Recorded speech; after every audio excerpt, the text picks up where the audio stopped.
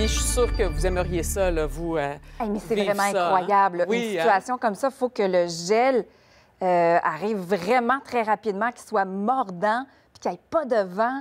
Hey, c'est une situation qui est vraiment particulière. Honnêtement, c'est magnifique. Oui, hein? Ça doit donner le vertige, puis euh, quelques petites peurs.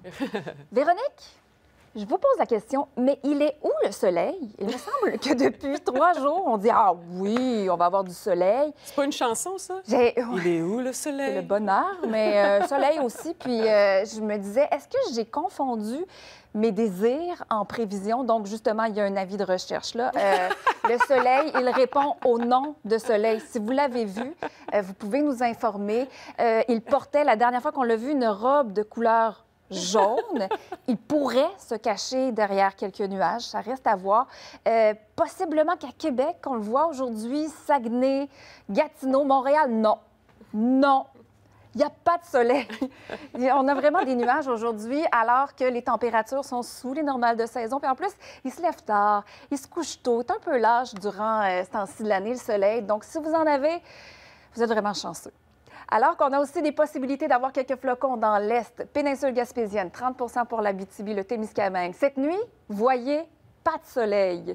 On va avoir des températures très froides avec des nuages qui vont euh, se dissiper par moments. Et demain, est-ce qu'on va avoir du soleil?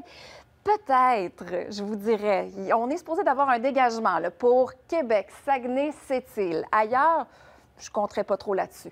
On va avoir un ennuagement graduel et il y a le système dépressionnaire. On vous en a parlé jusqu'à présent.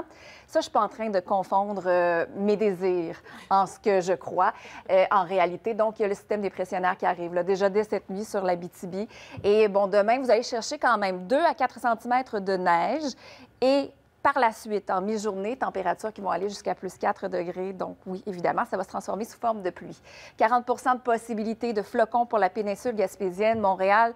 Euh, milieu de l'après-midi, on est supposé de commencer à recevoir justement ces précipitations. Par la suite, du soleil, oui, peut-être, mais des températures qui vont être plus confortables. À Québec, hmm, je ne crois guère. Vous êtes en feu, Émilie, comme le soleil. Oui.